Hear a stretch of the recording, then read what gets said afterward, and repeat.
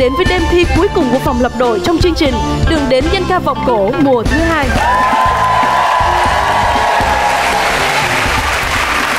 Như vậy cũng có nghĩa là chỉ còn cơ hội cuối cùng để các huấn luyện viên của chúng ta thu nạp đầy đủ tất cả những thí sinh hoàn tất đội hình trong đội của mình và mong rằng là với đêm thi cuối cùng này thì tất cả các thí sinh cũng sẽ cố gắng hết sức mình để có cơ hội được đến với những huấn luyện viên mà họ thực sự yêu mến. Thưa quý vị khán giả, và giờ đây hãy cùng chào đón sự xuất hiện của ba vị huấn luyện viên chương trình đường đến danh ca vọng cổ mùa thứ hai. Hãy cùng chào đón huấn luyện viên Thoại Mỹ.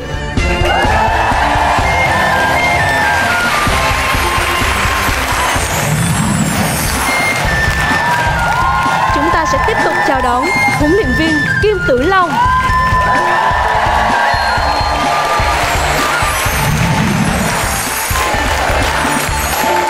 Và giờ đây hãy cùng chào đón huấn luyện viên Thanh Hằng.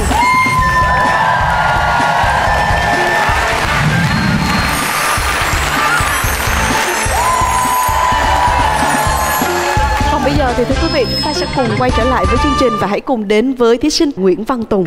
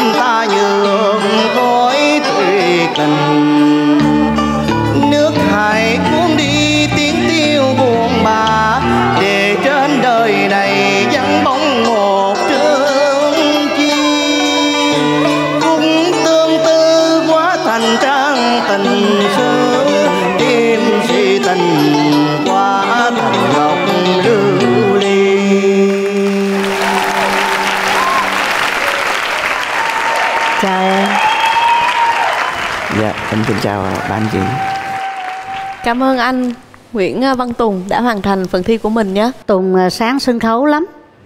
À, nhưng mà rất tiếc là cái hơi của Tùng nó không có được sáng dạ. Nó, nó giống như là em có bệnh không? Bữa nay có bệnh không? Em hơi bị khàn tiếng. Khàn tiếng hả? Cho nên là cái cái giọng nó không có được nó không có được sáng cái giọng không được đẹp cái giọng lắm. Rồi à, có những cái cao trào những cái cái đoạn cần phải bỏng á chồng lên á thì uh, tùng không chồng mà tùng lại uh, lại lòn xuống. À, lòn cũng được nhưng mà nếu mà để mà thi thì những cái đoạn đó phải ca chồng lên dạ. thì nó mới sáng bài được. À, thôi thì uh, cố gắng luyện dạ, để làm ơn. sao uh, tiếp tục mình nuôi dưỡng cái niềm đam mê đó và giữ làm sao cái giọng của mình nó trong trẻo hơn. Cảm ơn anh long. Ừ. cảm ơn tùng nhé. Cảm ơn tùng. Hẹn gặp lại. Cảm ơn em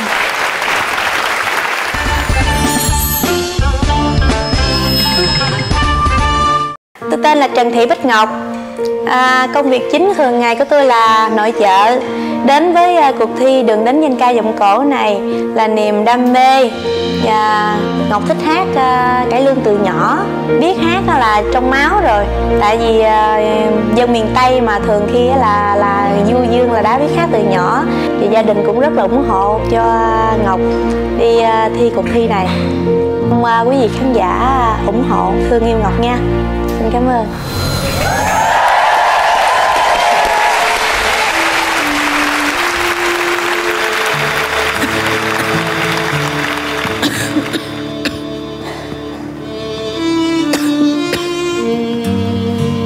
Nha. Chị Tư Nhàn ơi.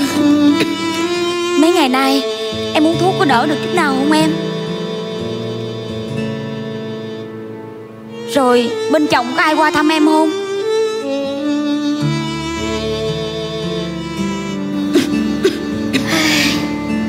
Thiệt là tệ vậy đó. Bên chồng của em Biết em bệnh như vậy Về đây mấy tháng trời Mà không ai thèm qua thăm hết á. Mà chồng em á Cũng bạc nữa. Biết vợ của mình bệnh nặng vậy Mà cũng không qua thăm. Thiệt là khổ. Chị Tươi Nha Chị Tươi ơi Nếu sau này Nhàn. Em có mệnh hệ nào? Nhàn. Em đừng có nói gỡ. Không có nên nha không em. Nếu sau này Em có bề nào Thì Chị gặp ảnh Chị nói với ảnh á, Là lúc nào Em cũng thương cũng nhớ ảnh hết. Ảnh? Nhưng mà ảnh nào vậy em anh bắn chiếu á chị. Anh bán chiếu. Nhưng mà Em Em gặp ảnh hồi nào? Em đã gặp ảnh Khi ghe chiếu của anh vừa đến dầm kinh ngã bãi Em đã mời anh vào đây nè, Để đôi đi chiếc giường. Để đặt lòng đôi chiêu Để trang trí dân phòng cho thêm đẹp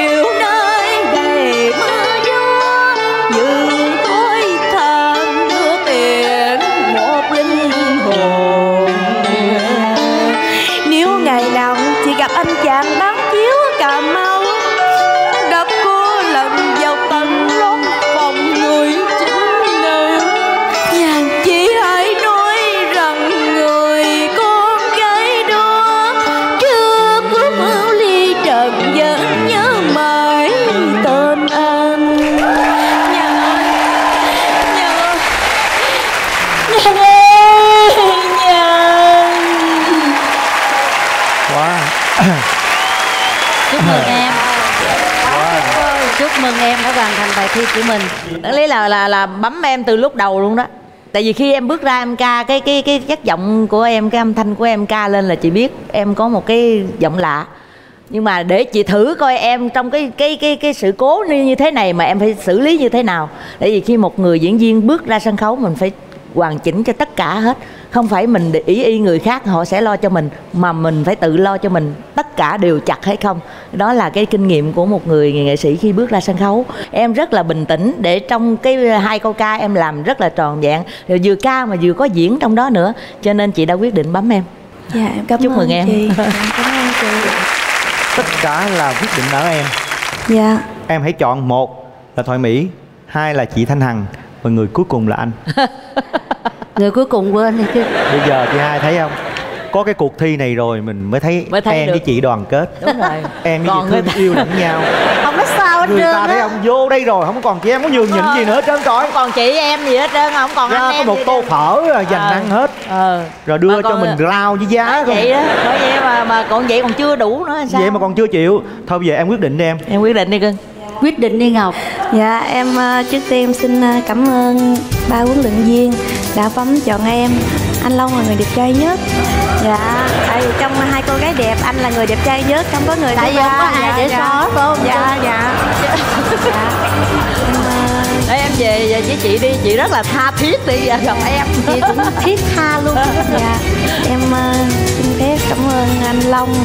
Em cảm ơn chị Mỹ Em ờ, xin phép cảm ơn chị Hằng ủa vậy chưa ca lên là chị biết em có một cái giọng lạ. Đấy, em về về với chị đi chị rất là tha thiết đi gặp em.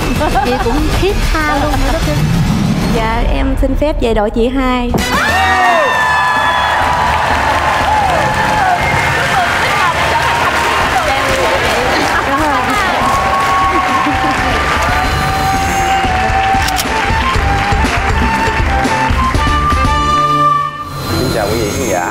mình tên là Trần Văn Dũng, mình đến từ ờ, quê hương Sóc Trăng.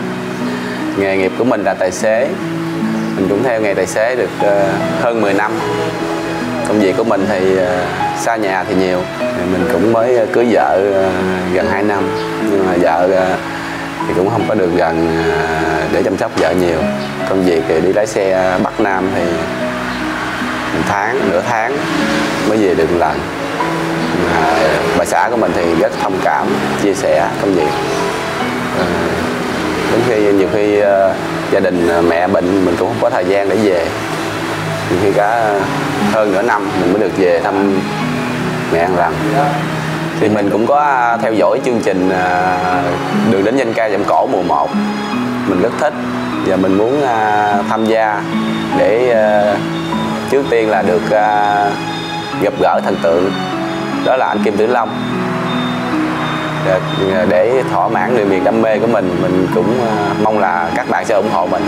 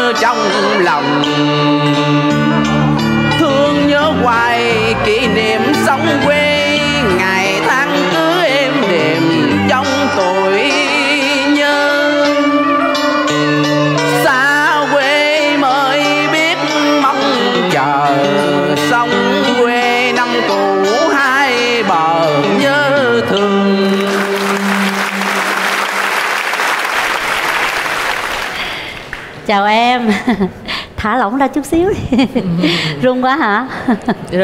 Chào anh. Trần Văn Dũng. Trần Thương Dũng. anh quá à. Sao? Tại vì ờ, em biết là anh rất là hồi hộp. Hồi hộp. Khi mà ra đây thực sự là hồi hộp đi bình thường đã khó rồi. Còn bưng cái cầu ra cái cầu. Rồi anh phải leo lên cầu rồi anh leo xuống nữa. Giờ cảm giác của anh Hát dễ chịu hơn chưa? hát mà không dám nhìn ai hết trơn. Thương quá run quá cho nên là không có còn tự tin gì nữa hết à, nói chung là bài thi của dũng hôm nay á, thì dũng cũng có chất giọng. Nhưng mà trong cái cách ca của dũng á, chưa có truyền cảm xúc được đến cho ba anh chị ngồi đây cho nên vì thế à, ban chị không thể nào chọn dũng. Thôi à, xin lỗi dũng. À, mình còn nhiều dịp thi khác. Nếu mà dũng còn cháy với cái niềm đam mê của mình thì em hãy trao dồi lên để cho mình ca nó có một cái sự trường canh và những cái chữ cuối của em á phải kèm lại phải giữ cái hơi để cho nó không có bị hụt cái hơi của mình. Ha.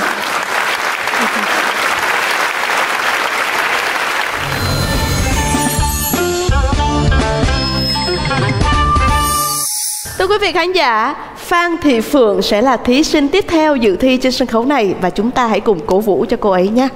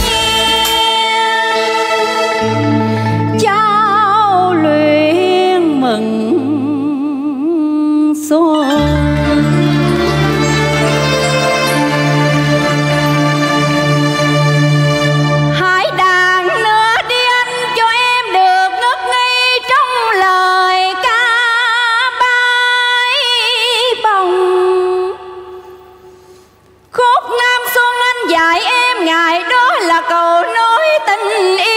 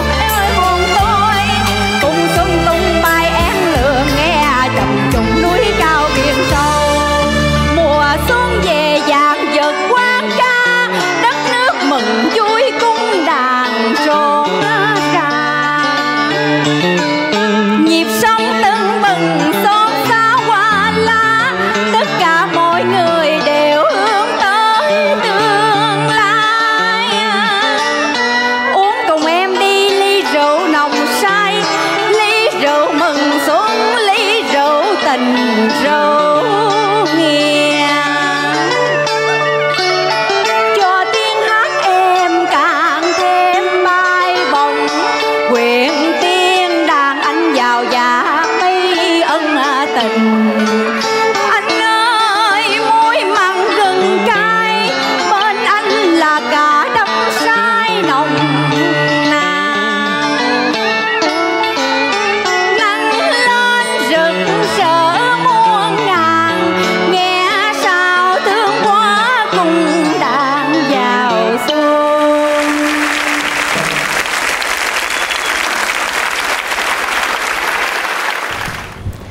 Cảm ơn Phan Thị Phượng đã đến với à, chương trình.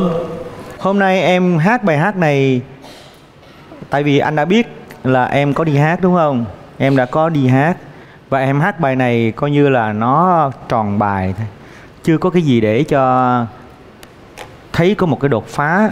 Bây giờ ờ, em chồng hơi em ca một câu giọng cổ cho anh nghe coi. Dạ. Cho anh, cho chị hai, cho Thoại Mỹ nghe để xem cái hơi của em nó có rộng xài hay không. Tâm ca ơi, giờ này anh đang ở nơi đâu? Anh có biết rằng ngày mai này em phải theo chồng về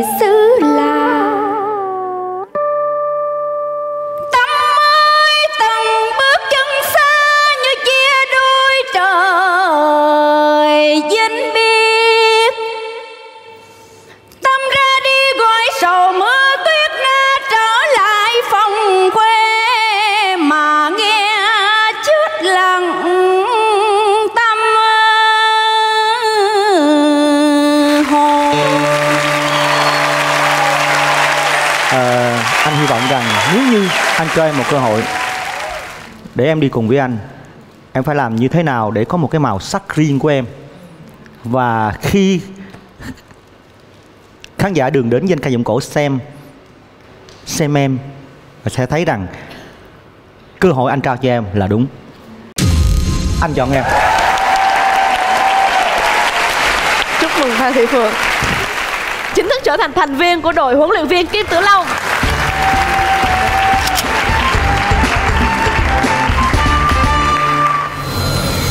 Ta sẽ cùng đến với phần dự thi tiếp theo và thí sinh Kim Quyên sẽ mang đến tiết mục điệu buồn phương Nam. À, mình tên là Nguyễn Thị Kim Quyên quê mình ở Tiền Giang, chợ gạo. Tôi đi làm thì à, mấy chị cũng biết mình hát á, thì mấy chị cũng trưa đồ buồn buồn á thì cũng hát cho hát nghe, hát giọng cổ rồi cho mấy chị nghe, mấy chị rất là thích. À, tôi may cái lên từ nhỏ từ- nhỏ lần nhưng mà ở dưới quê thì mình không có à, cơ hội Thế lên thành phố rồi à, mình mới có cơ hội mình tham gia à, câu lạc bộ tài tử rồi à, à, các quán hát với nhau. Công việc thì rất là mệt để thì sáng à, có, tại có em bé nhỏ nữa có em bé nhỏ mới mới có 3 tuổi à. Rồi sáng phải chở em bé nhỏ đi à, đi gửi đi gửi rồi mới đi mai đi mai à, đi mai nói chung là ở đây thì mai cũng như cho mai là tới à, à, tới 5 5 giờ 5 giờ rồi bắt đầu về về cái rước con về cái đầu à, cơm nước tắm rửa xong là đi xô à, đi xô quán tài tử á thành thử đi ra nó cũng bận rộn tới 11 12, có khi bữa 10 giờ có khi bữa 11 12 giờ mới về tới. Rồi cái ngủ rồi sáng là cứ đi tiếp vậy đó. Nói chung là mấy chị đó mấy chị mấy cái mấy em ở đây rất là ủng hộ.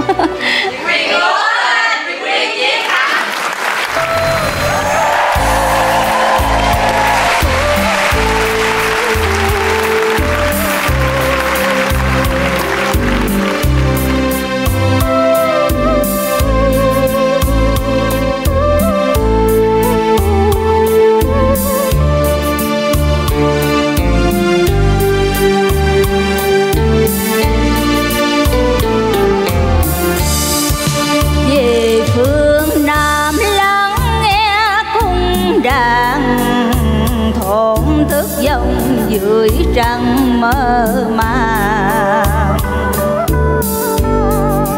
rồi theo sông cô.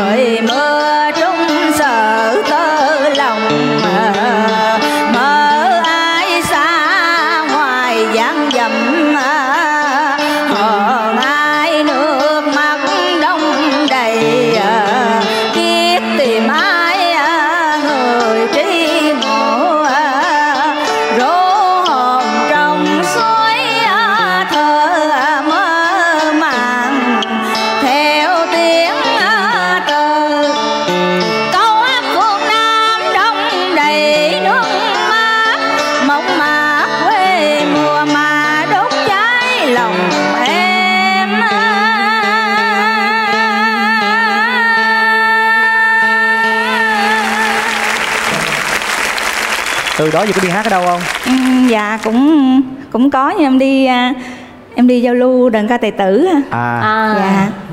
Thành thử ra ca có biết cách ca nhưng mà chưa có được uh, uh, điêu luyện. Ờ, hy vọng rằng à, những gì mà chị đến với đường đến danh ca giọng cổ này á chị hãy nuôi cái niềm đam mê đó và rèn luyện nhiều hơn nữa để cho cái làng hơi của mình không phải là ca cho đúng mà phải ca cho hay. Ha.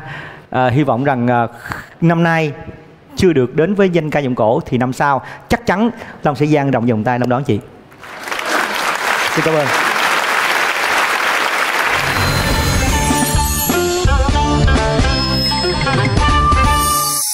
Chúng ta sẽ cùng đến với phần dự thi tiếp theo. Đây là phần dự thi của thí sinh Nguyễn Thị Bích Ngọc. Xin mời.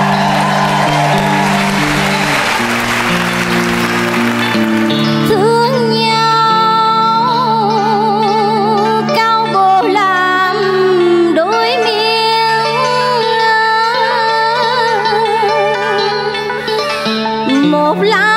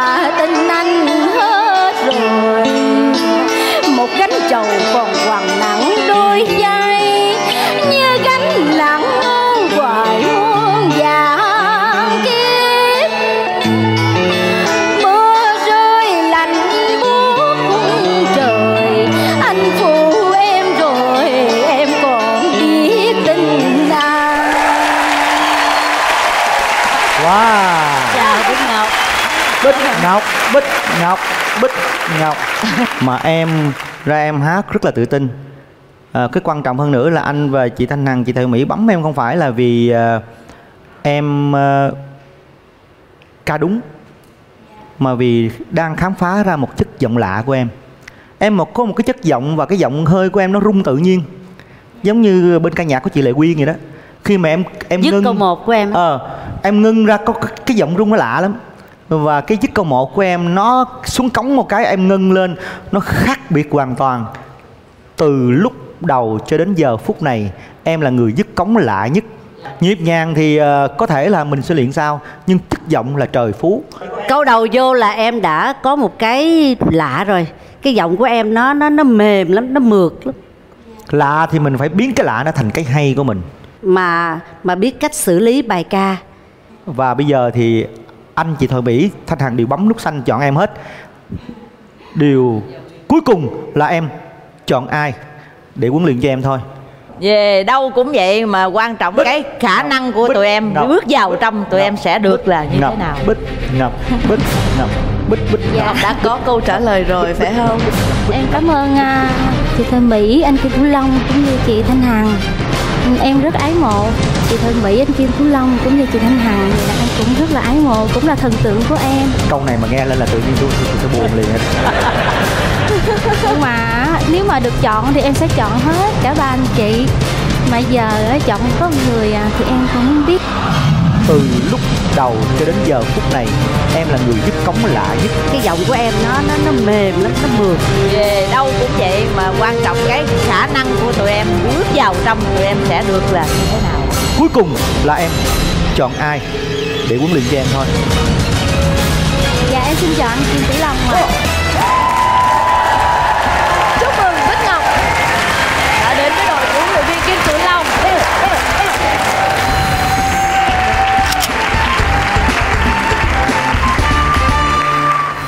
Tiếp tục đến với tiết mục tiếp theo và chúng ta sẽ cùng làm quen với thí sinh Bùi Thị Trinh.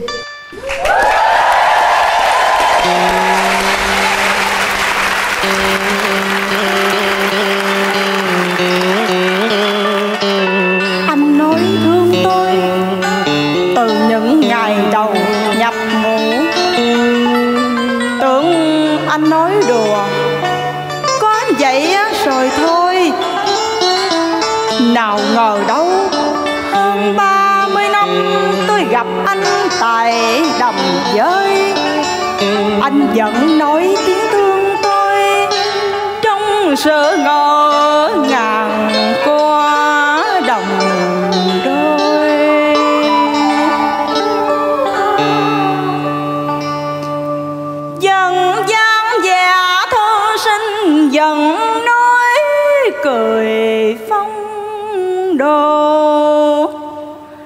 Cầm lấy rượu trên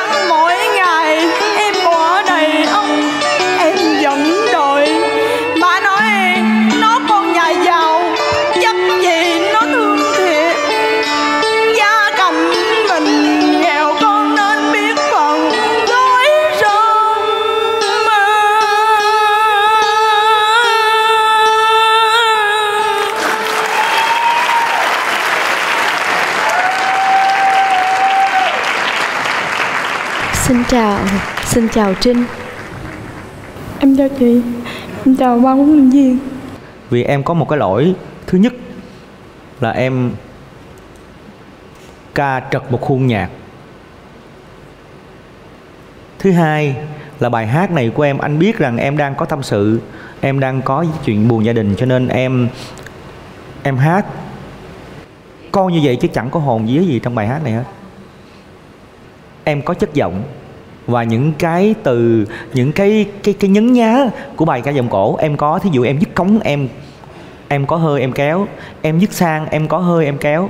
Anh mong rằng với cái cái lực của em như vậy, thì em về, em nghe và em cảm được để khi mà em ca câu giọng cổ ra, để cho người ta nghe, người ta phải nghe ngọt ngào, dịu dàng dù cho có bắn lên tới quãng 8 và chúc cho em may mắn lần sau.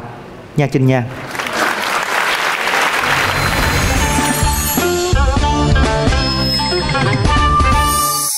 Bây giờ thì không còn quá nhiều cơ hội cho các huấn luyện viên nữa bởi vì quân số cũng đã đâu đó rồi. Cho nên những thí sinh à, cuối cùng xuất hiện ở trong vòng này, trong đêm nay phải nỗ lực hết sức mình hơn cả những gì mà các bạn có. Hãy chứng minh cho chúng tôi thấy điều đó ở các bạn.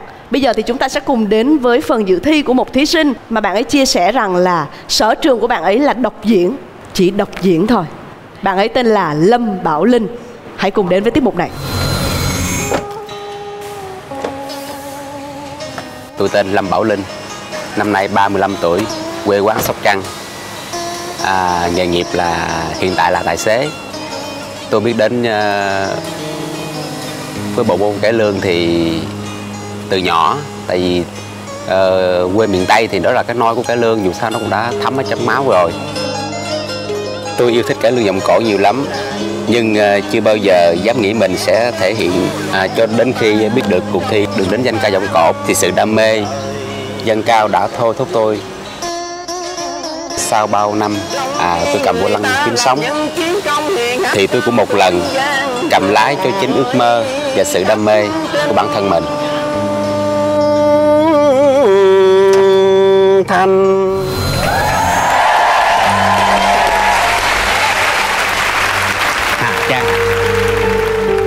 Có lẽ hôm nay đã đến lúc tôi cần phải nói Những lời nói hết sức thành thật với lòng mình Là tôi không hề yêu cô Sao? Không tin à? Thật tội nghiệp Những cô gái nào đến với tôi á, Đều như thế cả Khi tôi nói dối á, Thì họ lại tin Và họ lại không tin Khi tôi nói thật.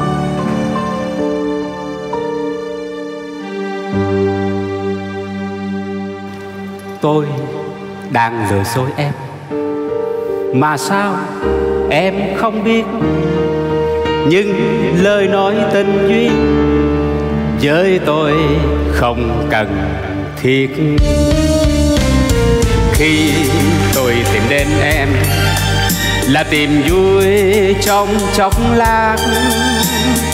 Đến một lúc rồi đi, Nhớ nhung không cần thiết. Nếu em rõ tôi, Thì không nên bối rối. Yêu nghĩa là phôi phai Nghĩa là mang hận quay. Yêu nghĩa là phôi phai, Nghĩa là mang hận quay.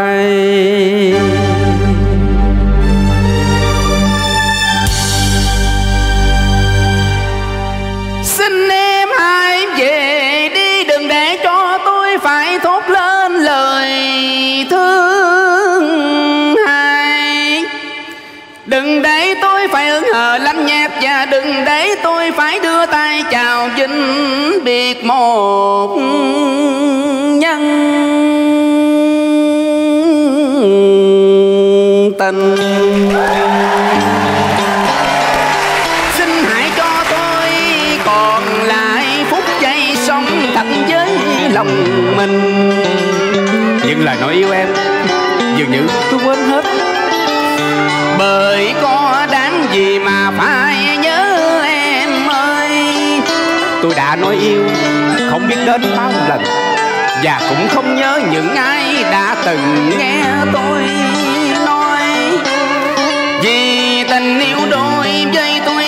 Là cơn gió thoáng chợt đến rồi đi không dừng lại bao giờ.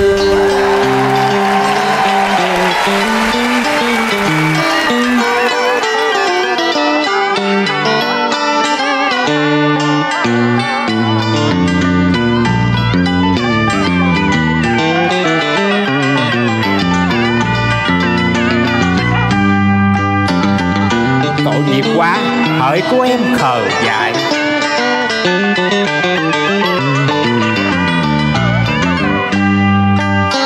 Em đã xây thiên đường trên ảo tưởng, rồi ngây thơ ôm giấc mộng quan đường. Vì chút lòng thương hại, tôi muốn đưa em trở về thực tại bình thường. Cuộc tình mình kể từ nay, chấm hết. Em là em, còn tôi lại là tôi. Chúng ta là hai tinh thể xa xôi, mà khoảng cách hàng triệu năm ánh sáng tỉnh dậy đi em, đừng mơ hồ ảo tưởng đừng ôm mộng điên cuồng để chết với tình yêu.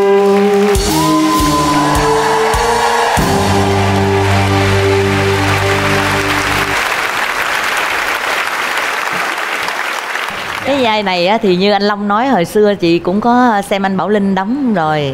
À, mà cái vai thì vào trong nữa đó. Khi mà em về đội chị rồi đó vào trong nữa thì em sẽ chị sẽ phát cách cho em và đạo diễn sẽ dừng cho em cái nhân cái tính cách của em. Ha nhưng mà quan trọng đây là cái làn hơi của em. Em có một cái chất giọng rất rất là lạ cái giọng mũi nó mũi trong cái mũi đó mà nó trong trên cổ họng cũng có nữa cho nên là à, chị á, chọn em đây là em đã có một cái chất giọng lạ để đi vào con đường đến danh ca giọng cổ dạ cho nên là chị cũng chúc mừng em Cảm ơn chị Thanh Hằng. Còn tại sao chị Thoại Mỹ quyết định chọn Lâm Bảo Linh ạ? Tại vì à, giọng ca của Bảo Linh bữa nay chị Mỹ nghe rất là rền. Nghe rất là rền mặc dù là giọng mũi nhưng mà nghe cái âm của em rất là rền, rất là có lực.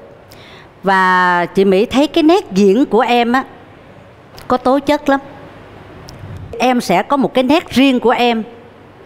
Mà cái nét riêng này em rất là rộng xài cho nên chị mỹ thấy được điều đó em có cái tố chất mà chị mỹ đang cần đang thích cho nên chị mỹ quyết định bấm bảo linh về đội của chị mỹ dạ cảm ơn chị Em đến giờ phút này mà em được hai người chọn là em tuyệt vời lắm. Bây giờ chỉ còn giây phút là em chọn ai thôi. Em về đội nào thôi. Hãy suy nghĩ cho thật kỹ. Bắt đầu. Linh sẽ chọn về đội của chị Thoại Mỹ hay là chị Thanh Hằng? à em có một cái chất giọng rất rất là lạ nghe cái âm của em rất là rền rất là có lực khi mà em về đội chị rồi đó chị sẽ phát cách cho em. Em có cái tố chất mà chị mỹ đang cần đang thích. À. Dạ em à, xin phép được à, đầu quân chị chị mỹ. Chúc mừng Lâm Bảo Linh, thành viên mới của đội huấn luyện viên Thoại Mỹ.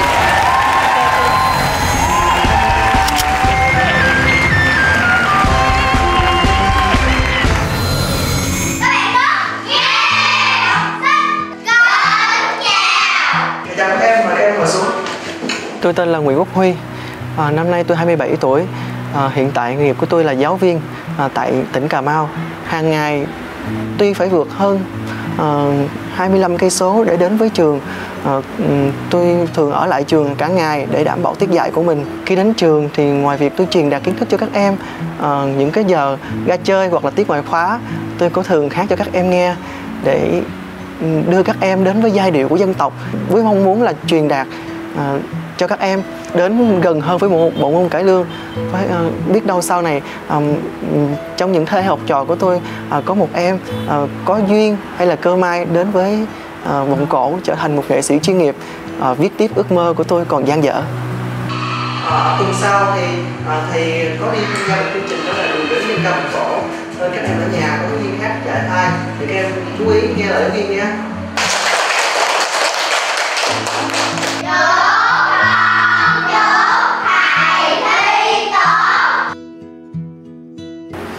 Tối về thì tôi phải phụ giúp à, anh chị ừ, bán shop quần áo để trang trải thêm cho cuộc sống. Ờ, mỗi tối thì ừ, trước ánh đèn khuya tôi thường soạn giáo án một mình. Nhưng tôi lấy đó làm niềm vui là niềm tự hào khi bản thân mình đã làm được một việc à, giúp ích cho cuộc sống. Ngày được đến trường à, được dạy các em à, được truyền đạt cho các em những kiến thức. Suốt 6 năm qua đó là một niềm vui mà ừ, tôi rất tự hào từ nhỏ tôi đã có ước mơ à, và sở thích hát vọng cổ. Đối với tôi là một niềm đam mê, đã ngấm sâu vào hơi thở theo một lẽ tự nhiên. Tôi thường nghe à, các cô chú nghệ sĩ hát à, các bài vọng cổ, sau đó học theo và hát vô ngao. Ờ, nhưng mà do gia đình đông anh em, phải lo chật vật với cuộc sống, nên chưa bao giờ tôi có ước mơ hay là muốn mình theo nghề cả. Đến với chương trình danh ca vọng cổ này, thì tôi muốn một lần được thỏa sức đam mê của mình.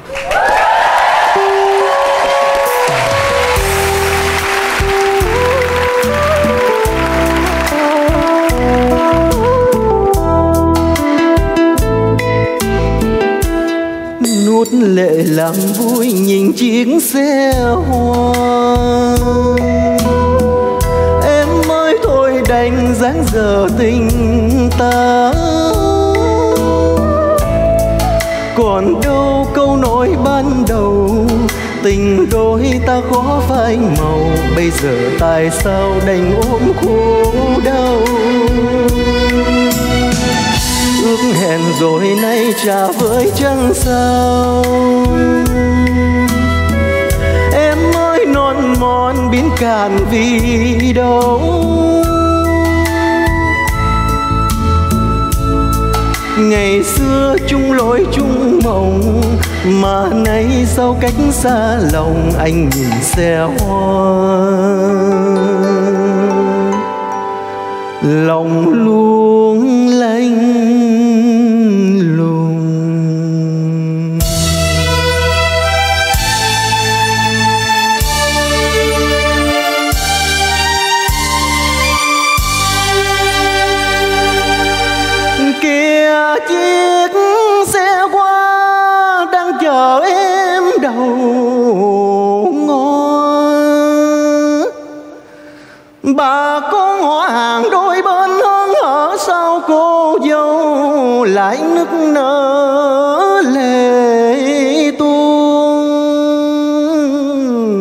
trang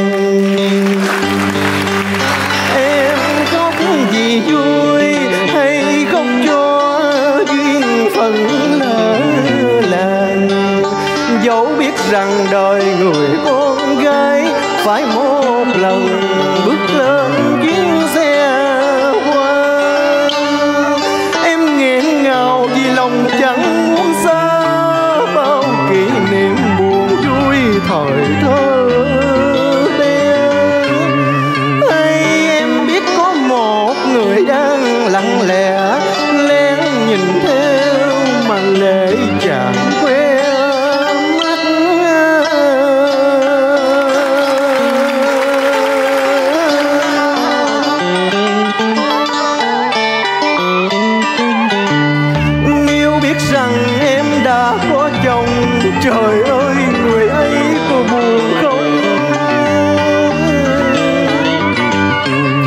Có còn nghĩ đâu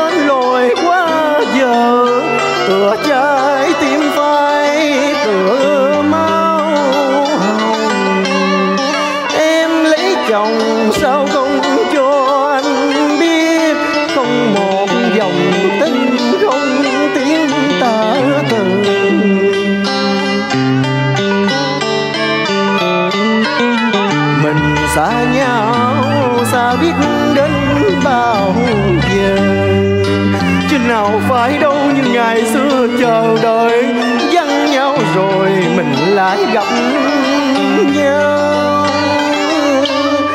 Bây giờ anh phải làm sao để cao lại thắm, để trầu lại xanh? Tại duyên, tại nợ không thành, nuốt sầu, nuốt khổ cũng phải đành nhẹ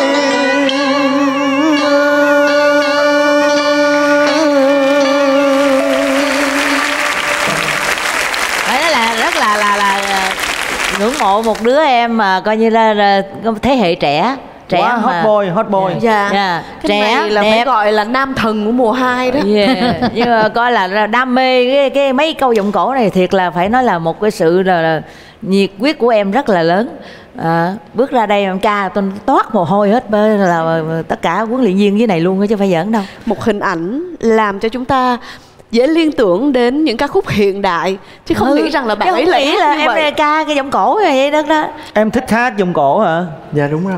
Ờ, Đó là một cái ờ, rất là trân trọng. Và anh cũng rất là thích cái phong cách của em. Khi mà em bước ra sân khấu em như là một hot boy. Dễ thương, rất là phong nhã. Nhưng mà chỉ tiếc có một điều là giọng hát của mình chưa có được ờ, ai điêu luyện, ai luyện cho mình. Thôi thì ờ, chúc mừng em đã đến ờ, với đường đến danh ca giọng cổ và sân chơi này hy vọng sẽ đón chào em vào những ờ, lần sau. Ha. Chào em mà Rồi, chào luôn tất cả em. những thí sinh trẻ như em nữa. Rất là là là chào mừng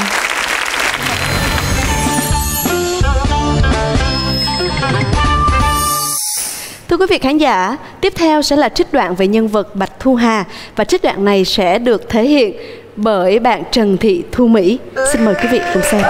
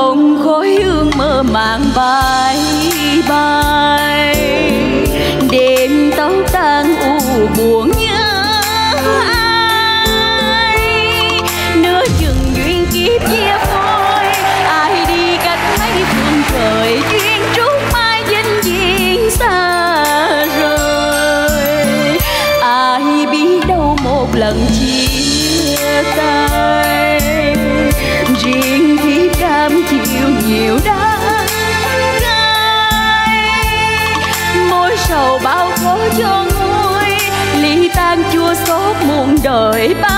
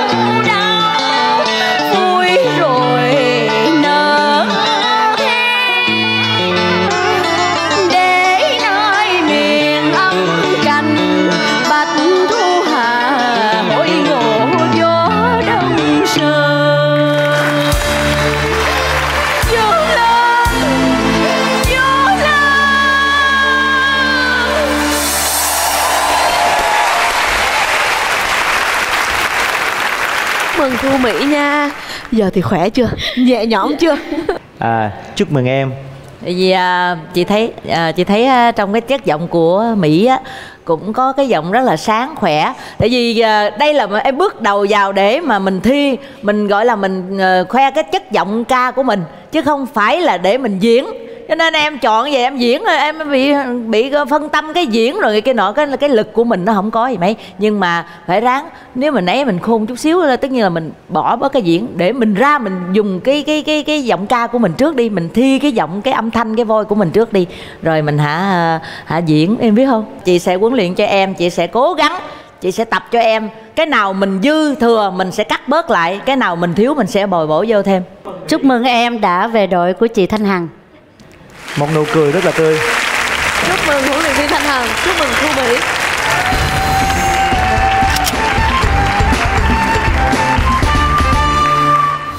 Sau 5 đêm thi của vòng lập đội, bà huấn luyện viên đã chọn cho mình 10 thí sinh với những giọng ca lạ, đầy màu sắc và giàu cảm xúc. Trong tuần sau, chúng ta sẽ đến với vòng song ca tranh tài. Huấn luyện viên sẽ ghép cặp các thí sinh trong đội mình với nhau, cùng trình bày một tiết mục dự thi mà ở đó có sự kết hợp những mảng màu thật hài hòa, phát huy những ưu điểm của từng cá nhân trong mỗi cặp đấu. Hứa hẹn ba đêm thi của vòng song ca tranh tài sẽ đem đến cho quý vị khán giả những điều mới lạ nhưng cũng không kém cảm xúc. Làm sao ta có thể về lại chốn xưa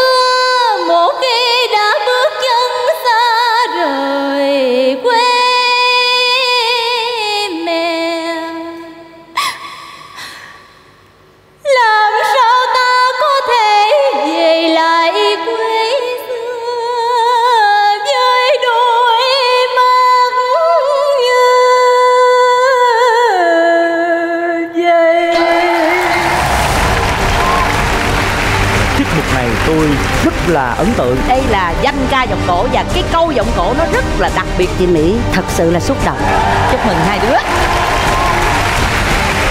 Liệu thí sinh nào sẽ bước tiếp vào vòng trong?